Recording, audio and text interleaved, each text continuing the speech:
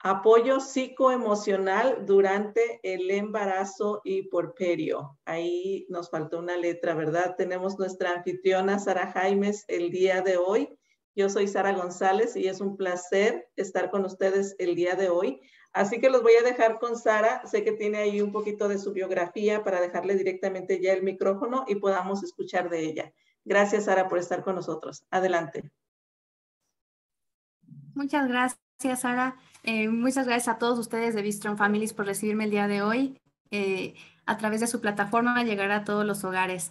Muchas gracias también a ustedes que están sintonizándonos. El día de hoy es un día, como bien lo dijimos, muy especial por el día que estamos celebrando aquí en México y algunos lugares de Latinoamérica.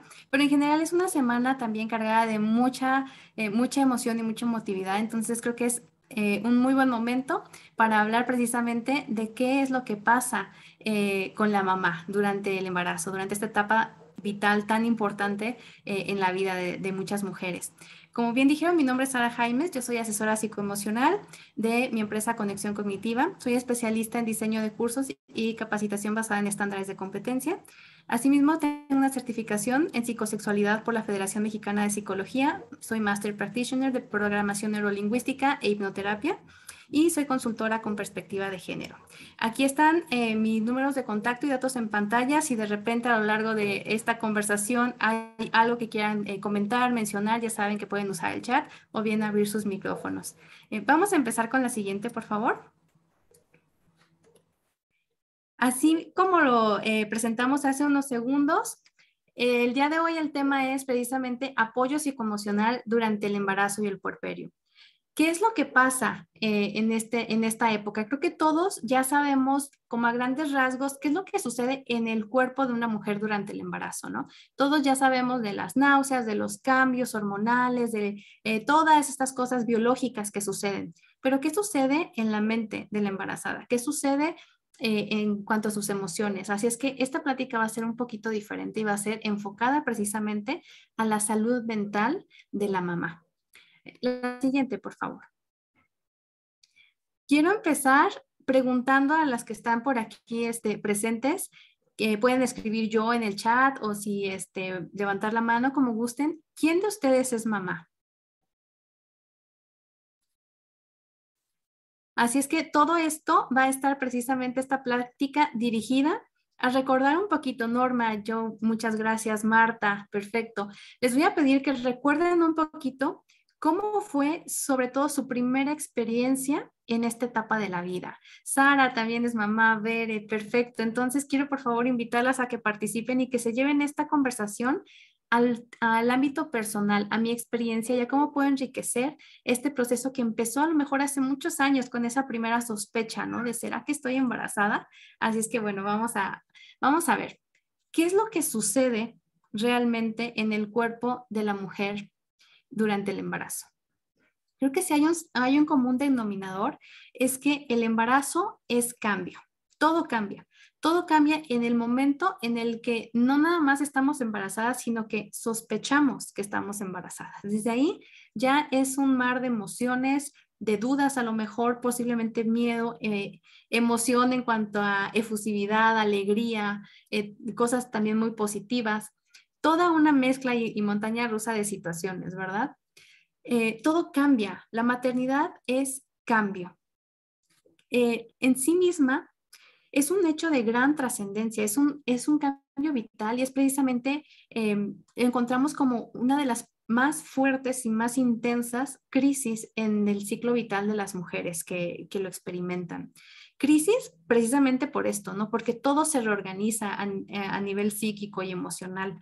Eh, muchas de nuestras prioridades, nuestro lugar, en fin, eh, muchas cosas sufren una, pues un cambio. Dice Marta, mi primera experiencia fue hace ya 30 años, fue susto a lo que venía. Así es, Marta, gracias por compartirnos y la verdad es que yo creo que esto es algo que compartimos eh, muchas mujeres, ¿no? La primera idea es un poquito de miedo también de, de lo que viene, ¿no? Y, con esto pues empieza nuestro viaje de la eterna pregunta, ¿lo estaré haciendo bien? Pero bueno, más adelante vamos a hablar de eso. La maternidad es un momento también de encuentro y de revisión de la mujer. ¿A qué me refiero con esto? Mientras se va desarrollando el embarazo, por ejemplo, las mujeres experimentamos una necesidad como de revisitarnos, de revisitar nuestra vida, de componer, comprender, sanar nuestros vínculos primarios. Pequeño paréntesis, la próxima semana las invito, vamos a estar hablando precisamente de cómo sanar el vínculo con nuestra madre. Visitamos por primera vez esta nuestra infancia, nos recordamos cómo fue cuando nosotros éramos más pequeños, los recuerdos del pasado empiezan a surgir, afloran a la conciencia y revivimos muchas cosas, ¿no? A lo mejor que no habíamos pensado durante años, ya sea que tuvimos una infancia maravillosa y lo vemos con ilusión, o que tuvimos a lo mejor una infancia traumática o dolorosa y lo vemos también con la ilusión de hacer las cosas de manera diferente, pero también con cierto miedo y temor, a lo mejor a repetir patrones o a eh, no poder proteger, en fin, toda una serie de cosas surgen, ah, cosas introyectadas de una misma, surgen otra vez a la, resurgen a la superficie en, esta, en este momento de saber que viene un bebé en camino, que eh, eres mamá. Empezamos también a fantasear, ¿no? alrededor de todo esto y se pueden crear eh, emociones tanto de fantasía, de cosas eh, positivas, como también empieza o puede empezar a llegar un estado ansioso o depresivo. Cada persona vivimos esta etapa y la maternidad en general de manera diferente. No hay forma, si quiero empezar recalcando, no hay forma correcta o incorrecta ni de ser mamás, ni de vivir la maternidad. Esto yo creo que es una, verdad con la que debemos hacer las paces y quitar mucho peso que de pronto las mamás cargamos al respecto.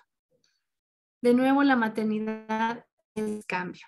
Y durante el proceso de embarazo, la mujer tiene que hacer muchos cambios en todas las diferentes esferas de nuestra vida. Cambios individuales, como lo vemos por aquí en pantalla, eh, los vínculos, como mencioné, con nuestra, nuestras figuras parentales incluso. Pasamos de esta primera vez, en este primer embarazo, pasamos de ser hijas a ser madres, de ser esposas, si es que lo somos, a ser madres, ¿no?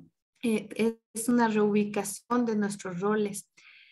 Eh, la parte individual también comprende, por supuesto, el cambio físico, tanto interna como externamente, y todo esta eh, este alcance psicoemocional que conlleva ese cambio físico.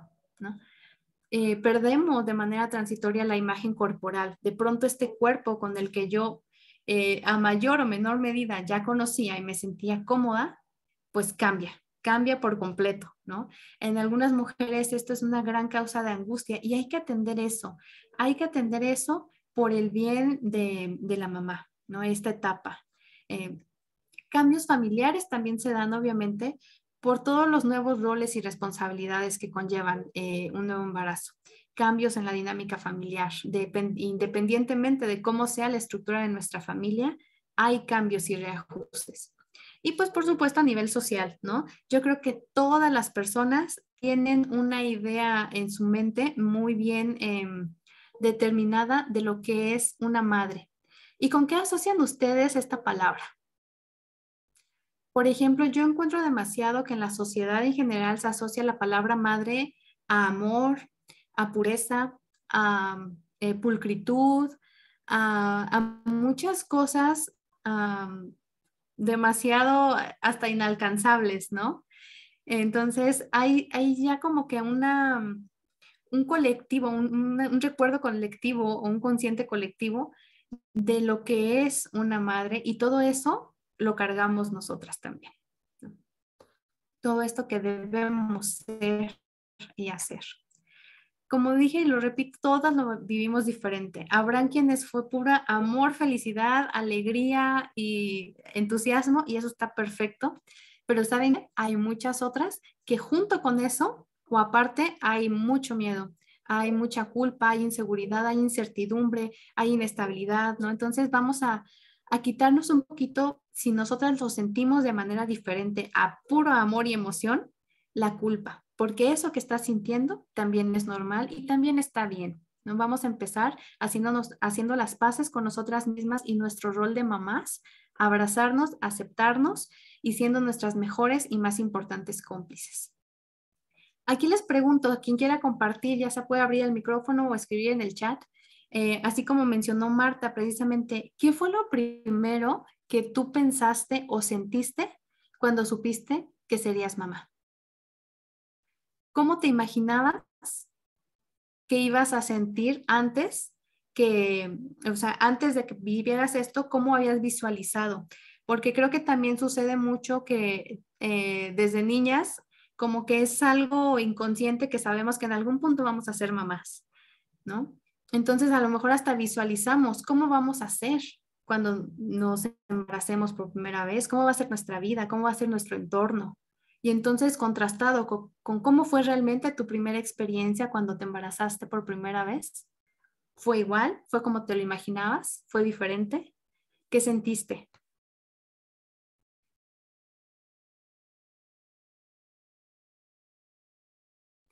Si alguien nos quiere compartir, por aquí pueden abrir micrófono o los leemos en el chat.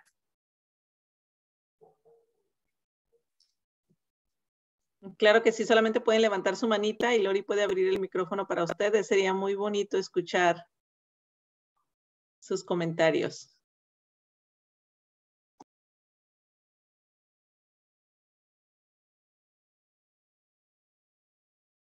Marta por aquí nos dice, primero miedo, pero después tanta emoción. Así es, es algo muy común y está, está muy bien, Marta. Primero esta como incertidumbre, ¿verdad?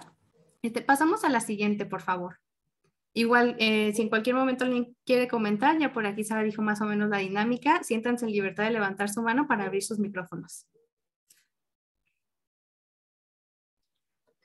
Daniel Stern nos habla, por ejemplo, de que hay un proceso cuando sucede el embarazo, que es que no nada más va a nacer el bebé, sino que nace una madre. Él lo llama precisamente el nacimiento de una madre. Eh, nos dice mucha alegría y esperanza, pero también miedo a no estar preparada para ser responsable de una nueva vida. Así es, Norma, te agradezco mucho tu participación. ¿Qué pasa entonces? Eh, cuando va a nacer un bebé, nace también una madre. Dice por aquí Daniel Stern nos comentaba que hay tres embarazos realmente los que suceden y que es un proceso secuencial, ¿no? Que se da como por etapas.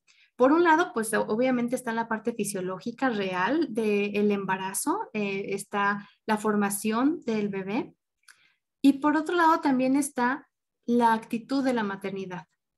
Nace esta idea preconcebida que yo tengo y que nutro con las ideas que tengo en ese momento de qué tipo de madre seré, de las cosas que haré, de las cosas que no haré, de los errores, ¿no? Que yo jamás cometeré. Si hay alguna de ustedes que de repente haya dicho cuando era más joven o cuando no tenía hijos, yo jamás, y casi como juzgando a otras mamás, yo jamás haría eso, yo jamás este, permitiría que mis hijos hagan esto. ¿Les ha pasado algo así? Y, de pronto te, toca y eres mamá y ves las cosas tan diferentes, ¿no? O incluso nuestra propia mamá. Creo que es el primer Em, la primer maternidad que juzgamos, ¿no? Esto que hizo mi mamá, yo jamás lo haría, ¿no? O esto que hizo, yo quiero ser exactamente igual y quiero hacer exactamente lo mismo. Y entonces vivimos la maternidad ya con esta con esta idea, ¿no? De cómo debe de ser. Este es el segundo embarazo, eh, la actitud hacia la maternidad que empieza a gestarse también, ¿no? ¿Qué tipo de madre voy a ser yo? Este, Igual, eh, adelante eh, con, con el chat, cualquier cosa por aquí los leemos. Y por último está el bebé imaginado. ¿Qué es el bebé imaginado o imaginario? Es este que va tomando forma en nuestra mente. ¿Les ha pasado desde que él salió positivo o desde que empezaron a planificar un embarazo, si ese fue el caso, o desde simplemente que saben, ¿no? Esa, esta punzada que tienen a veces las mujeres de decir, no, yo sé que hay algo diferente y que estoy embarazada empezamos como a visualizar a nuestro bebé, y no nada más a nuestro bebé, sino a nuestro hijo ya casi casi de adulto y lo vemos en la cima del mundo y sabemos incluso o visualizamos si va a ser niño, si va a ser niña, eh, qué le va a gustar, qué logros va a tener, ¿no? Empezamos a hacer este, este imaginario de quién será nuestro hijo. Este es el tercer embarazo que, que tenemos durante esta etapa.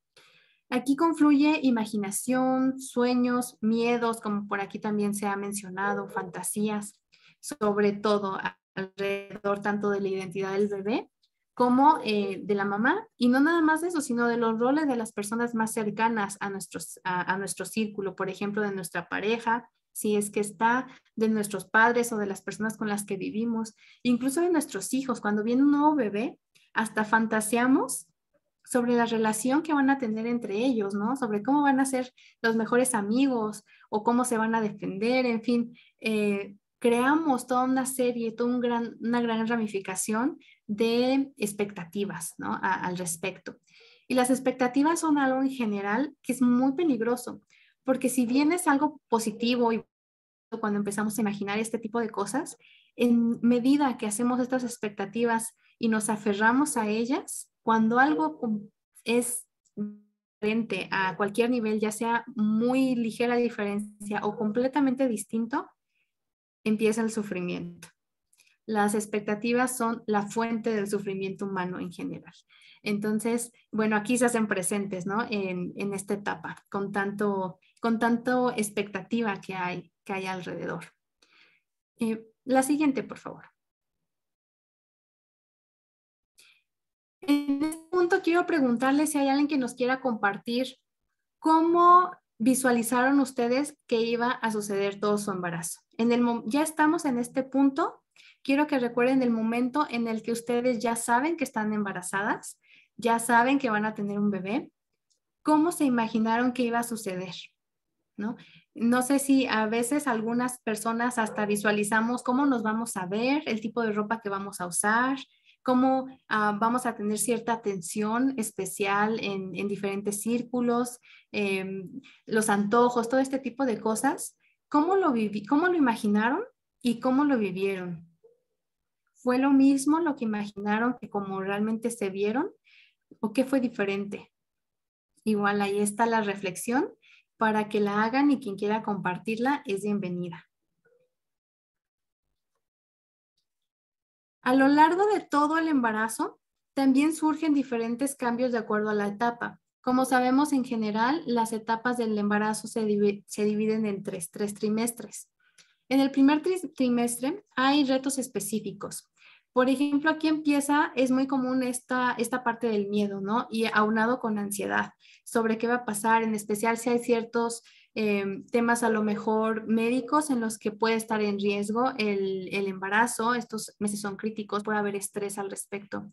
Puede haber también una dificultad en la adaptación de esta nueva condición. Como dije, son cambios en los roles y las dinámicas, eh, entonces empieza a, empezamos a chocar un poquito con adaptarnos a la idea ¿no? de todo lo que va a cambiar eh, con esta noticia pueden haber por esto mismos sentimientos precisamente contradictorios respecto a la maternidad. Puede que haya mucha alegría, claro, mucha esperanza, como mencionaron, puede que haya miedo también un poco.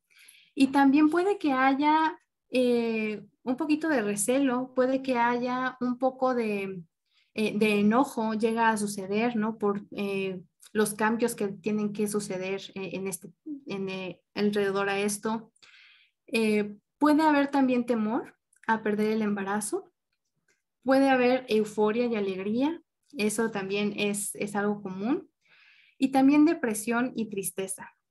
Todos esto pueden ser por todos los estímulos eh, psicosociales, en fin, por todos los cambios que hay en mis dinámicas, en mi casa, en mi familia, en mi trabajo, en fin, todo esto.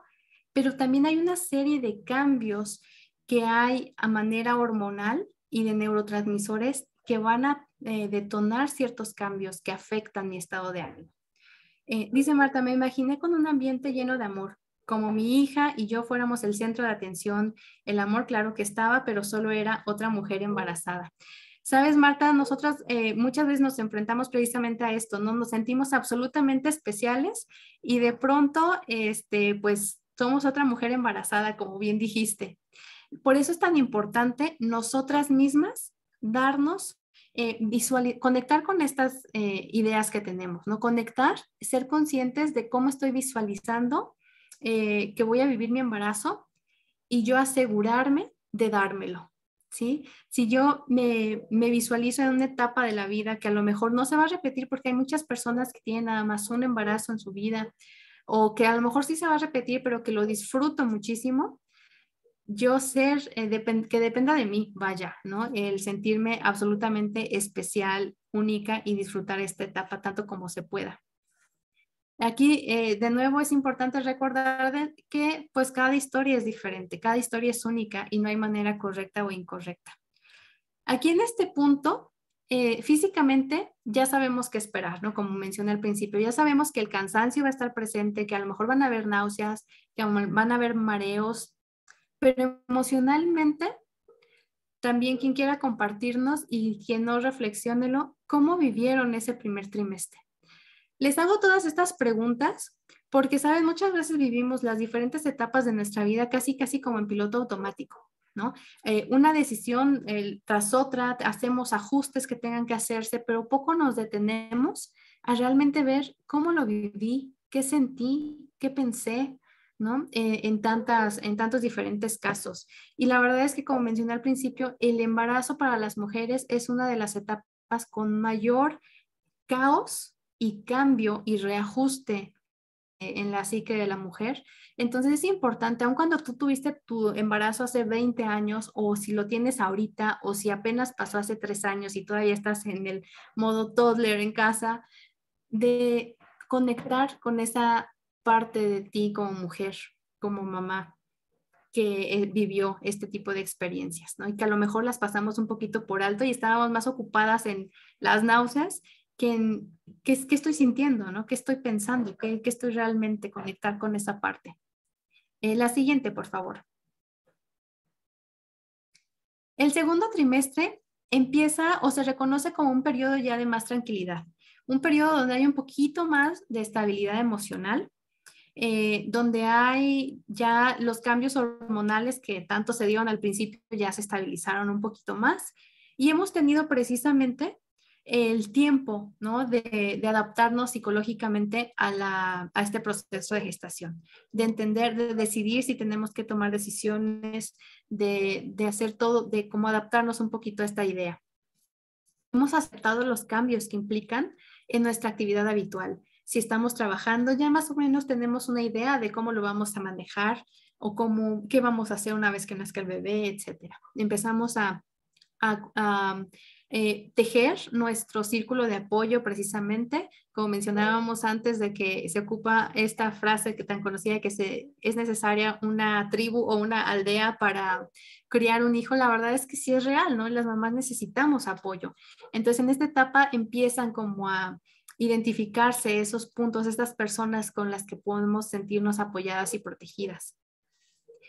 En esta eh, segunda etapa, en el segundo trimestre, el cuerpo empieza a cambiar un poco más, empieza a ser más evidente que ya hay un embarazo, empezamos a sentir los movimientos de nuestro bebé y esto suele um, de manera positiva, ¿no? Con mucha más ilusión. Ya los miedos a lo mejor se van dejando un poquito detrás porque ya vimos a nuestro bebé a lo mejor en el ultrasonido en este punto, ya lo escuchamos, ya lo sentimos, ya empezamos a vernos, ¿no? Con esta pancita. Entonces, es muy común que en esta etapa personas, incluso mujeres que habían tenido antes algún tipo de problema en cuanto a autoestima y aceptación corporal, se sienten hermosas. Realmente aman su figura en el espejo con esta pancita. Entonces, esto es algo eh, positivo, es una etapa generalmente eh, muy bien recibida.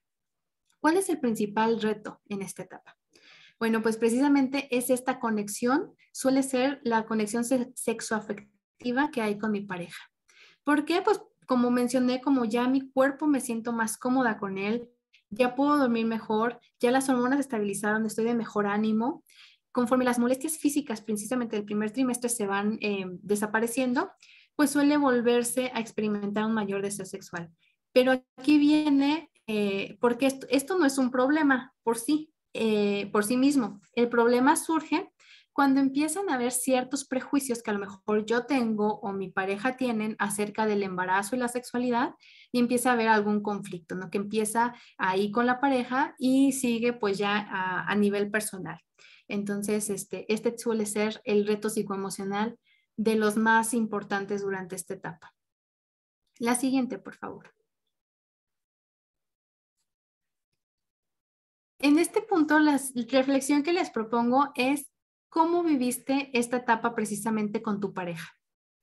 Esta etapa de eh, alrededor del segundo trimestre. ¿Cuál fue tu relación con tu cuerpo en esta etapa? ¿Cómo te veías? ¿Cómo te sentías? ¿Cómo, eh, veías tu imagen corporal? Igual si alguien quiere compartirlo por aquí, este, se lo agradecería mucho. Mientras tanto, vamos a seguir con el tercer trimestre. En esta parte ya pasamos del otro lado, ¿no? del, este, del tiempo de gracia. El volumen del abdomen aumenta considerablemente. Hay muchas personas que acabamos realmente grandes y es difícil dormir. Los cambios también hormonales eh, son muy común que desaten insomnio. No podemos encontrar posiciones cómodas para descansar, una serie de incomodidades físicas que sin duda afectan también a nivel psicoemocional. Aquí pasa algo muy curioso, se alcanza en esta etapa del último trimestre progresivamente el pico máximo de estrógenos. Esto quiere decir que las mujeres tenemos cambios de humores más frecuentes. Eh, en este punto de la vida, los estrógenos van a estar en un cúmulo mucho mayor que en cualquier otra etapa. También durante la menstruación, pues es una etapa en la que hay eh, picos en el ciclo hormonal normal de la mujer, pero en esta etapa realmente es cuando más vamos a tener. Y las hormonas, como sabemos, son los mensajeros del cuerpo. Apenas una cantidad mínima es necesaria para generar grandes cambios que se notan en, toda persona y, y, en este caso, pues no es la excepción. Por ejemplo, hay muchos estudios en los que sabemos que los estrógenos favorecen la apertura de los canales iónicos y esto da como resultado que hay una mayor reactividad a los estímulos.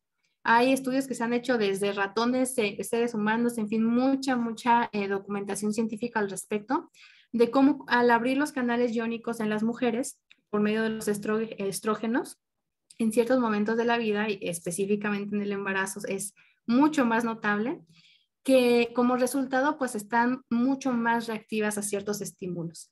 No sé si em, se acuerdan, si a ustedes les pasó que de pronto estaban como muy irritables, como em, la reacción que tenían a ciertas situaciones ahora eran como desproporcionadas eh, por eso suele suceder o suele incluso hacer este, en bromas respecto a cómo las mujeres al final del embarazo están eh, muy malhumoradas y demás. Bueno, esto es todo gracias a los estrógenos. Es algo normal, pero saberlo, la importancia de saber esto es que podemos ser un poco más gentiles con nosotras mismas.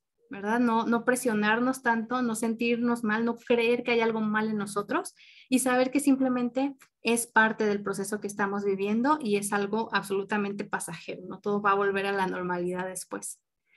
Suelen haber sentimientos en esta etapa de miedo, ansiedad, celos, celos a, la pareja, incluso no nada más a nivel de celar de que vayan a estar con otra persona, eh, sino a nivel de, cierto enojo de decir, bueno, yo estoy pasándola tan mal y él o ella están aquí como si nada, ¿no? Ese tipo de celos también llegan a suceder. Este, empieza a haber también sentimientos de fealdad, así como nos sentimos muchas veces hermosas en esta parte del segundo eh, trimestre.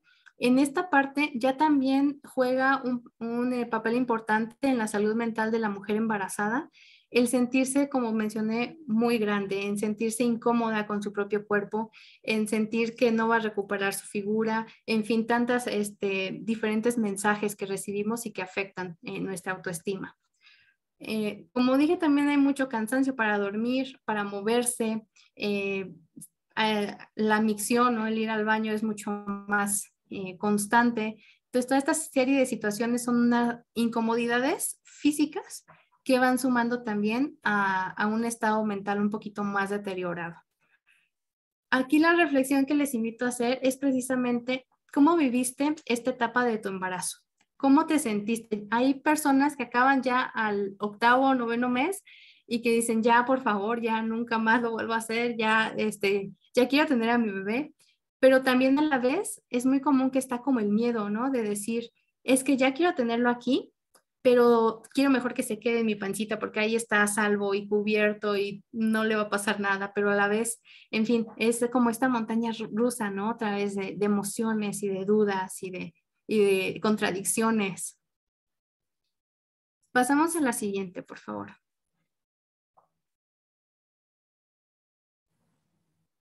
¿Por qué es importante todo esto? Bueno, para empezar y la respuesta corta es porque la salud de mamá importa, porque mamá importa, porque es un ser humano y es importante saber cómo está y cómo se siente y no dar por sentado que va a estar bien o que tanto el embarazo esté bien, ella está bien, o que en tanto el bebé se está desarrollando eh, de acuerdo a, los estándares o parámetros esperados, ella también va a estar bien, ¿no? Mm, tendemos en este punto a voltear a ver demasiado al bebé y enfocarnos en eso y olvidarnos un poquito de la mamá y de sus necesidades. Pero más allá que de eso, y porque muchas veces las mamás somos las primeras que necesitamos otras razones más allá de nuestro propio bienestar para cuidarnos a nosotras mismas, aquí les voy a presentar algunas razones de por qué también es muy importante cuidar la salud mental en un plan de salud integral en la etapa del embarazo todos estamos eh, más o menos mm, identificados o familiarizados con el estrés y el daño que le hace eso al cuerpo. La hormona del estrés, que es precisamente el cortisol, no es mala, no es algo eh, que, sea nocivo, es algo natural, tiene su función este, en el cuerpo como todas las, las diferentes hormonas. Sin embargo, cuando el propósito del cortisol no se cumple, que es apoyar, eh, darle al cuerpo, como dije, las hormonas, un poquito a una reacción en cadena en el cuerpo. Esta, por ejemplo, hace diferentes cambios tanto a nivel este, de, presión arterial, de cúmulo de oxígeno, de cúmulo de sangre, eh, en fin, diferentes sistemas se activan para favorecer esta parte de la pelea o huida. Para eso es, esa es la razón de ser del cortisol y de la adrenalina y de noradrenalina y demás. Específicamente, esto se presenta cuando hay una situación que nuestro cerebro interpreta como peligro inminente, ¿no? Cualquier situación de estrés. Eh, una vez que pasa, lo ideal es que, bueno, ya que pasó la situación, nos tranquilicemos, volvamos a relajarnos y estemos ya eh, estables, ¿no? Sin, sin eh, acarrear esto. Pero ¿qué pasa? Que una de dos, o muchas veces pasamos de situación tras situación tras situación estresante que nunca baja la cantidad de cortisol que tenemos en el cuerpo. O bien que sucede algo y no tenemos muchas habilidades para gestionar nuestras emociones y entonces nos atoramos un poquito en el, en el suceso y generamos ciclos ansiosos. Y también lo mismo pasa a nivel eh, biomolecular, pues el cortisol ahí se queda en nuestro sistema. Entonces, ¿qué le pasa al bebé cuando esto pasa? Y no nada más cuando ya estamos en la etapa de eh, segundo, tercer trimestre, donde el feto empieza a crecer y demás. El primer trimestre es el más importante a nivel de neurogénesis. Es cuando todas las células del bebé, células nerviosas, su cerebro y demás, empiezan a formarse y son sensibles a, todo este, este tipo de cambios. Entonces, por eso es tan importante tratar de estar lo más tranquilas posibles. Y, esto obviamente lo digo y lo recalco, no es como para preocuparnos, ¿no? Y ahora estresarnos porque estamos estresadas y le va a hacer daño al bebé. No, no, no, para nada. Es para ayudarnos un poquito más a priorizar nuestro bienestar, ¿no? Hacer los cambios que necesitemos hacer para cultivar un estado eh, saludable y, un estilo de vida saludable, ¿no?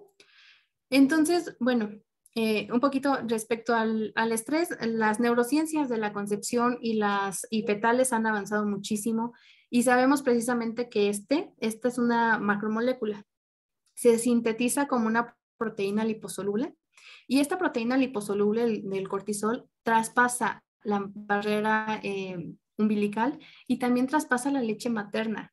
Entonces, por eso eh, directamente cualquier situación eh, de alto estrés que estemos viviendo sí va a afectar o va a llegarle tanto al bebé neonato como al, embrión o al feto. ¿Cómo les afecta eso? Bueno, para empezar, desde las primeras etapas del embarazo puede, eh, lo que primero ah, afecta el, cortisol es que precisamente estas moléculas liposolubles en las que se, se degrada tienen una gran afinidad por el sistema gástrico. Repercute en el desarrollo neuronal del bebé. porque el cortisol en general inhibe el desarrollo correcto de las células en general, o sea, en el ser humano. Y pues en el desarrollo embrionario no es la excepción. Entonces, ¿qué puede pasar? vemos que eh, sí, claro, puede haber un problema en el desarrollo neural del bebé en el sentido de que puede ser un bebé más adelante, vamos a encontrar que tiene problemas de, aprendizaje, problemas de lenguaje, eh, diferente tipo de, situaciones al respecto. Problemas de la piel. Eh, tiende, encontramos el dermatitis y demás porque el cortisol afecta la diferenciación celular. ¿Esto qué quiere decir?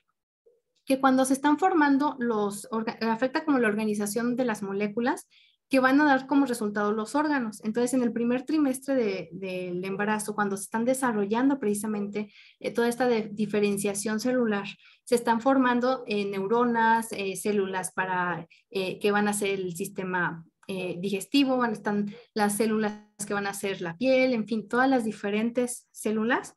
Esto se interfiere con el cortisol. Entonces podemos ver bebés precisamente que tienen este, eh, problemas de la piel y sobre todo del sistema digestivo, toda la citis, ¿no? Niños con gastritis, colitis, eh, todo este tipo de situaciones.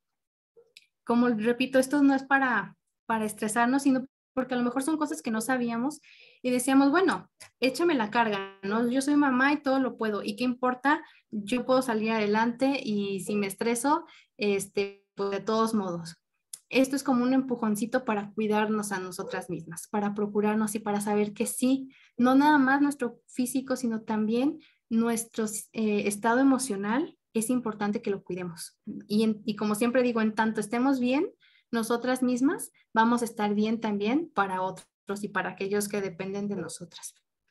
En cuanto a la depresión, también es una de las situaciones que son muy comunes durante el embarazo por todos los diferentes cambios que hay que ya hemos mencionado, por la falta de apoyo, por, en fin, una serie de cosas. ¿Y cómo afecta la depresión? La depresión no hay estudios concluyentes en cómo afecta al bebé directamente. Sin embargo, eh, la depresión como tal sí afecta como la síntesis de proteínas en el sistema eh, digestivo y esto sí se asocia a dos cosas. Una, la alimentación de la mamá puede ser deficiente, no come lo suficiente ni lo necesario. Y por otro lado, esta síntesis de proteínas que, se ve afectada con eh, estados depresivos hace que lo que come mamá no se absorbe de la manera correcta ni de la manera necesaria y esto sí está relacionado precisamente con bebés con bajo peso al nacer relacionado con bebés que presentan alteraciones también en el neurodesarrollo, en la, igual de nuevo en la adquisición formal del aprendizaje, la adquisición del lenguaje y otras eh, situaciones. Todo estado de ánimo cambia la química corporal. Entre eso y las, las hormonas van a afectar precisamente la maduración celular de todo nuestro cuerpo, de todas nuestras células, toda la vida. Y en el embarazo también afecta precisamente esta etapa de maduración celular de los, eh, del futuro bebé. Entonces hay que tener muy en cuenta, como dije, lo repito, si mi propia, si el yo me lo merezco, yo necesito cuidarme, necesito estar bien y hacerme una prioridad, no es suficiente razón, también entonces hay que tomar en cuenta que para cuidar de nuestro bebé tenemos también primero que cuidar de nosotras mismas. Eh, la siguiente, por favor. Yo diría que eh, la conclusión de la diapositiva pasada, ¿por qué es importante la salud mental de mamá? Pues porque mamá es importante, simple y sencillamente. Entonces, bueno, dicen por ahí, no me des problemas, dame soluciones. Ok, ¿qué podemos hacer? El estrés es algo con lo que vamos a vivir. Bueno, hay que bajarnos del tren, ¿no? Hay que saber que sí es inevitable que, que hayan situaciones fuera de nuestro control y que puedan alterarnos. Sin embargo, ¿qué puedo hacer? Bueno, cultivar, ¿no? Eh, mi inteligencia emocional. Este es un momento perfecto, idóneo de la vida. Esta es una gran crisis, como dije al principio, de, de la de etapa vital, que es como eh, una oportunidad de oro para empezar a conectar con mis emociones, para cuidarme, para protegerme, para priorizarme. Cosas que me pueden ayudar muchísimo en esta etapa es precisamente el yoga prenatal. Hay muchos lugares, incluso eh, públicos, donde la, eh, em, cuota es mínima, es una cuota de recuperación, o podemos unirnos al gimnasio que más nos parezca. Eh, la yoga es muy buena porque es bajo impacto, no, no, no estamos brincando ni nada.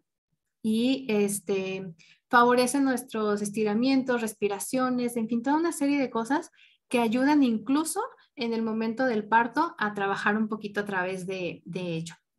La activación física en general, a menos que el médico lo contraindique explícitamente, desde pararnos a caminar un poquito, nadar, en lo que más nos guste, eh, no está contraindicada en el embarazo, eh, como mencioné, a menos que sea una situación muy específica. Entonces, la activación física ayuda muchísimo porque en el momento que hacemos ejercicio, bueno, por un lado, estimulamos la oxigenación y nuestro cerebro, si algo Ah, con algo florece es con el oxígeno, incluso las partes más pequeñas y por ahí recónditas de nuestro cerebro, que son, por ejemplo, la amígdala, que controla todas las respuestas eh, emocionales y demás, al, al, oxigenarse están sanas y saludables. Entonces, lo mejor que podemos hacer siempre por nuestra salud cerebral es ejercicio y oxigenar. Entonces, bueno, esta no es la excepción activación física es, es muy positivo para tener un buen estado de ánimo y una salud mental. Y el mindfulness o meditación o atención plena, como ustedes lo conozcan, también es algo muy positivo en cualquier etapa vital, pero esta este, es una buena oportunidad para empezar. Podemos hacer ejercicios tanto para relajarnos, ¿no? Si de pronto nuestros niveles de estrés estamos notando que se están subiendo, pues para bajar, para tranquilizarnos, para visualizar, eh, una serie de, cosas a las que podemos guiar, tal o cual meditación, eh, va a ser positivo. Lo más importante y el mensaje principal de esto es que se dediquen tiempo para sí mismas. Eh, pueden, por ejemplo, también elaborar un diario de emociones, ¿no? Donde escriban cómo se sienten durante el día y eso por un lado les va a ayudar, por, como menciona la eh, terapia narrativa a vaciar tus emociones como catarsis y a soltar, a desahogarte. Y por otro lado, también va a ayudar a que les vayas reconociendo, ¿no? Escribir, hacer un diario en general es algo muy positivo para favorecer esta gestión de emociones. Hidratarse, tomar agua, tomar agua es algo que también siempre debemos hacer, pero esta es una etapa, si no lo hacemos, para adquirir ese hábito, es muy, muy importante. Y sobre todo también reconcíliate con tu cuerpo. Esta es una etapa en la que podemos aprovechar de manera funcional esta crisis de estos ajustes, ¿no? No digo crisis como que fuera algo negativo el embarazo, sino por toda la turbulencia que hay alrededor, tanto mental, emocional, dinámicas, todo lo que ya comentamos. Entonces es una buena etapa para reconectar con nosotras mismas, con nuestra infancia, con eh, nuestros vínculos afectivos, con nuestra autoestima, con todo esto y sanar lo que tengamos que sanar, darnos cuenta si hay heridas por ahí, atenderlas, agendarlas y pues bueno, vamos a, a estar listas, no nada más físicamente, sino emocionalmente para esta nueva vida que estamos recibiendo. Y siempre, nunca está de más eh, el recordatorio constante.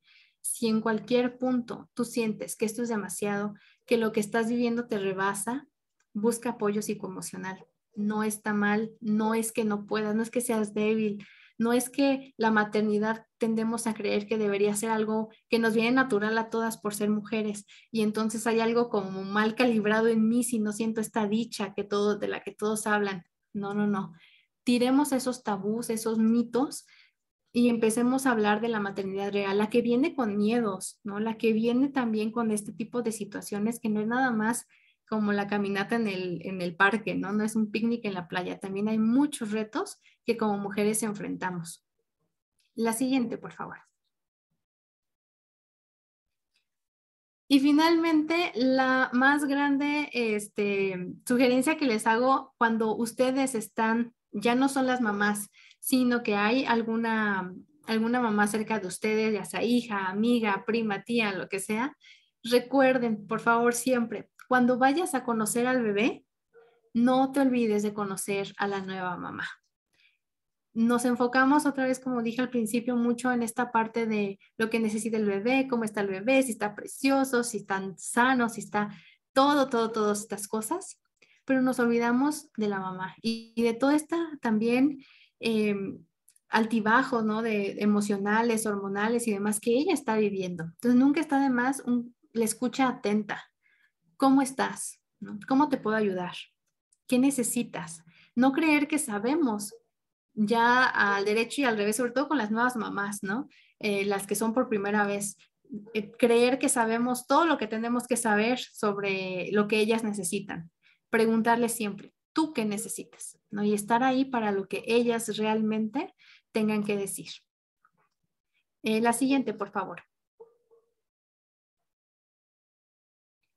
Bueno, eh, por mi parte no me queda más que agradecerles eh, el invitarme aquí el día de hoy, que es un día tan especial, tan importante. Y por favor, les cedo los micrófonos. Ahora sí nos quedan unos minutos para si tienen cualquier duda, comentario, si nos quieren contar su experiencia, algo que hayan recordado en este momento o que se llevan eh, de esta conversación, por favor, será mi gusto escucharlos. Igual, si quieren hacerlo en privado, tienen más preguntas, Aquí en pantalla están viendo mis datos de contacto.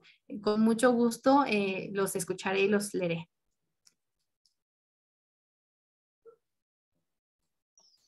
Gracias, Sara. No sé si alguien tiene preguntas, podemos dar unos dos minutitos, algún comentario. Si no, aprovechamos también para que nos ayuden a llenar la encuesta que aparece en este momento en su pantalla. Muchísimas gracias, Lori, por estar al tanto déjenos saber, en realidad fue un tema que nos conectó, ¿verdad? Y también a entender y comprender. Yo me quedo con lo último, ahí está Norma. Adelante, Norma. Hola, buenas tardes. Nada más quería agradecer por la información, Sara. Es muy importante saber que a pesar de que cada cuerpo es diferente y reacciona de diferente manera, hay cosas que, que, sí sería importante como nuevas mamás tener pláticas de estas porque uno tiene mucho miedo. A pesar de que yo planeé a mis niños, eh, estaba con las expectativas de que todo el mundo te dice, es que vas a sentir esto, vas a sentir aquello. Y cuando yo no lo sentía, eso me causaba más miedo, porque mi primer embarazo, yo desde casi puedo decir que al siguiente día yo sabía que, que algo diferente tenía mi cuerpo entonces nada más me tuve que esperar al tiempo de mi periodo para corroborar y confirmar. Y fue esta, esta mezcla de emociones de felicidad, de, alegría, como le dicen aquí, de joy. y, pero aparte miedo, estoy preparada, no estoy preparada, ¿qué va a pasar? Y luego me dijeron, no, vas a tener ascos, antojos. Yo esperaba los antojos con, con ansia porque dije, ay, a ver qué se me antoja no se me antojó nada, no me dieron nada, mi cuerpo nada más porque yo sabía que estaba embarazada, pero, y lo sentía, pero cambios así como que se me hincharon los pies, las náuseas, este, el sueño, nada, no me dio nada. Y mi estómago empezó a crecer a partir de finales del séptimo mes. Entonces, esta preocupación de, de híjole, ¿qué me pasa? ¿Por qué no siento nada? ¿Estará bien? ¿Está no? Eso crean mucha confusión. Entonces, eh, lo que puedo sacar de la plática y de esto es no poner expectativas en, lo que te dicen de cómo te vas a sentir, sino tratar de disfrutar cada momento y sí con el conocimiento de las hormonas pueden causar esto, pero sabiendo que es normal. Entonces, eh, a mí me encantaría que todas las mujeres embarazadas tuvieran este tipo de pláticas antes para, pues sí, para no espantarse tanto y disfrutarlo más. Gracias, Sara. A las dos Saras. Así es, Norma. Gracias. Sí, tienes toda la razón y la verdad es que yo creo que lo primero que pensamos es, pues, ¿estará, estará algo mal en mí? ¿Mi cuerpo no está funcionando? ¿Qué está, qué está pasando? ¿No? Entonces, sí, saber que cada cuerpo es diferente y, y reaccionamos diferente. Así es. Por aquí Marta nos dice, muy buena la información de por qué tanto cambio de humor. Por otra parte, me quedo con el compromiso de convertirme en una mujer que ayude y esté presente para otra que esté embarazada. O sea, mujeres grandes de edad, pero sabias, porque yo no tuve ese apoyo. Marta, qué bonito tu mensaje y la verdad es que sí, definitivamente, todas podemos hacer algo por las que vienen adelante o las que vienen junto a nosotras, ¿no? A lo mejor eh, nuestra experiencia no tuvimos el acceso a, la información o a la educación eh, en torno a esto o el apoyo, ¿no? Tantas diferentes cosas, pero todo esto lo ganamos a través de nuestra propia experiencia y qué bonito esto que dices, ¿no? Poner toda esta, eh, estas vivencias y esta sabiduría que ya adquieres de esta manera al servicio de, aquellos que, que están viviéndolo ahorita. Gracias, Sara, y gracias a todas las personas que participaron. En realidad, sí, es un gran momento de autorreflexión, ¿verdad? Las mamás que están pasando todavía por ese proceso, esa etapa de maternidad. Disfrútenlo mucho. Las que ya terminamos, pues apoyar a las que vienen y a las que están este, en esa etapa. Recuerden que los esperamos el jueves, ya vamos a tener nuestra graduación y vamos a tener un sinfín de testimonios acerca del diplomado Renacer con Ana Laura. Los esperamos a las 12. Por favor, regístrense para poder estar. Gracias a ti, Norma. Y les reiteramos que se pueden registrar en nuestro canal de YouTube. Lo pueden hacer a través de este código de barras que aparece en la pantalla o también lo pueden hacer directamente buscando nuestra página de YouTube, Be Strong Families. También pueden entrar a nuestra página de internet, nuestro website, donde pueden ver otros recursos que tenemos, talleres informativos, recursos como libros, eh, yo que sé, cualquier otro tipo de material que vean. También tenemos ahí el código para que puedan entrar directamente a nuestra página y registrarse para nuevos seminarios. Tenemos también en inglés el resto de la semana, martes y jueves solamente en español. Y con eso los dejamos. Muchísimas gracias a todos, que estén muy bien y nos vemos la próxima semana, Sara. Hasta luego. Feliz día a todos. Bye bye.